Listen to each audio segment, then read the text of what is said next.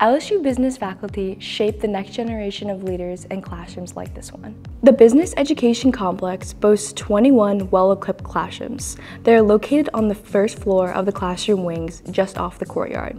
Rooms range from 20 to 120 seats and offer a comfortable environment for lectures and discussion.